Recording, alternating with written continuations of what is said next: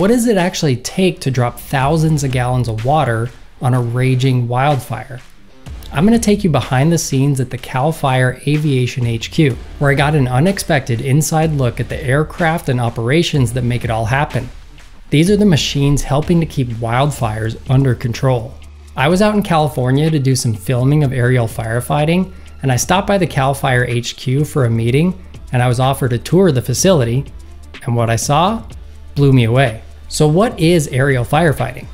At its core, it's the use of aircraft to fight wildfires. But it's a lot more than that. These machines are flying low, fast, and they're really precise, carrying thousands of gallons of water or fire retardant to help control the spread of the fire. And they're crucial, especially in rugged, hard to reach places. But they're not just fighting the fires on their own and putting them out on their own. They're there to help suppress and slow down the fire to give ground crews the time they need to make containment lines and protect structures. They can cover a lot of ground way quicker and get a lot of water on top of the fire. First stop on the tour, the rotorcraft area.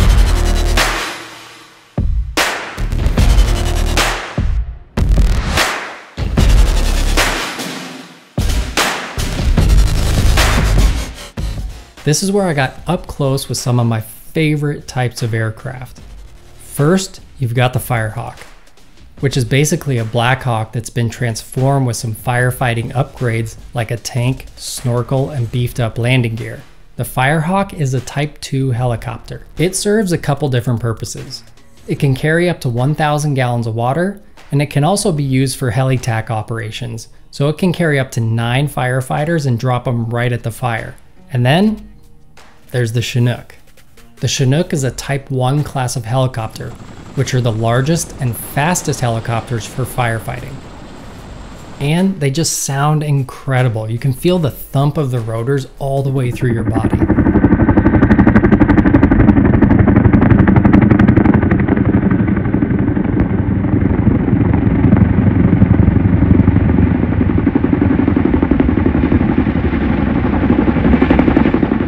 Can carry up to 2,500 gallons of water in its massive tank and you wouldn't believe how quickly it can fill that tank through the snorkel.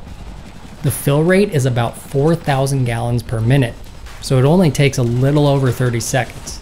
The other thing about the Chinook is that it's extremely stable and strong. It's built for heavy lifting and getting into areas where other large aircraft simply can't reach. It typically has a crew of three the pilot, co pilot, and a crew chief. When it comes to helicopters like the Firehawk and the Chinook, they use two different methods of collecting and dropping water. Some have internal tanks that can be filled up using a snorkel system, basically a hose that sucks water as the helicopter hovers over the source. Other helicopters like Hueys, other Black Hawks, and smaller helicopters typically use Bambi buckets to scoop and drop the water. All the helicopter systems are built for speed and precision. They can fill up the water and be back over the fire in minutes making another drop. And they do this over and over and over again in a single flight. The round trip time for collecting the water, dropping it, and getting back to collect some more is surprisingly quick.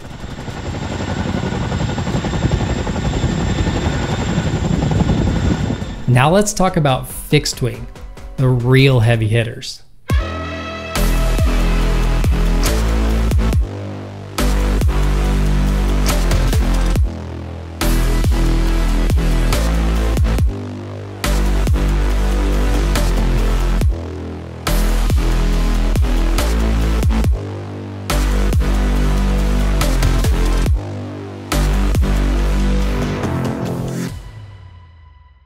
They had a couple of these big boys here the C130 and the DC 10.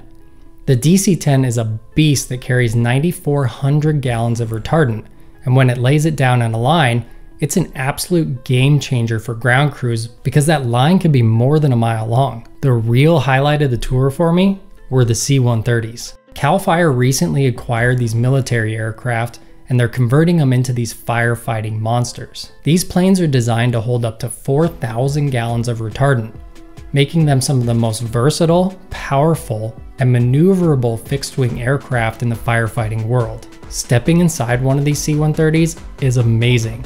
The tank is massive, and the drop system is designed to be incredibly precise. The amount of engineering that goes into converting these from military aircraft into fire ready machines is mind blowing. One of the coolest things though was going into the hangar where the C 130s were being converted. It's pretty crazy to see three of these under one roof in various stages of conversion. They're typically used in combat, and now they're being used for a whole different type of battle. And because of that, they can handle really tough conditions. They can fly low, carry heavy loads, and drop precise amounts of water exactly where it's needed. Now we've all seen that red stuff being dropped from these aircraft, right? So what is that?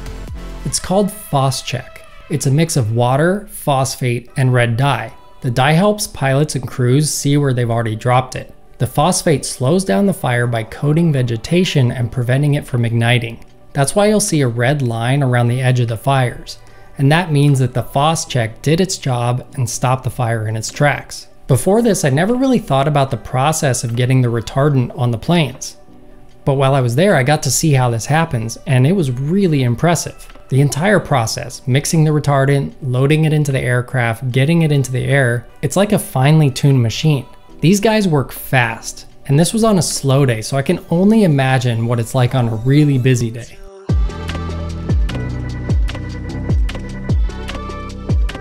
So what role do these aerial firefighters actually play? Well, their primary job is to drop water or retardant ahead of or right on top of the fire to help slow it down. This buys time for ground crews to build fire breaks and containment lines to stop the fire in its tracks. They're the first line of defense when a wildfire is too big or too dangerous or in a remote location that can't be reached by road. Their role is absolutely essential, especially in rough terrain or when time is against you.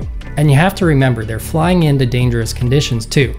Low visibility from smoke, crazy turbulence from the heat of the fire, other aircraft flying around them, and they're doing all of this really fast. These pilots are some of the best in the world, hands down. You've got to be precise, you've got to be quick, and you have to have nerves of steel. My visit to CAL FIRE was nothing short of incredible.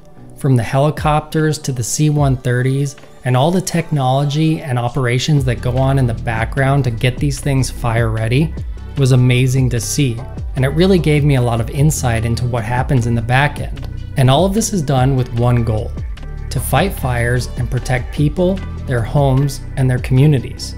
So when you see these guys and girls out flying over a fire, just remember they're doing really important and dangerous work to make sure that you and I are safe.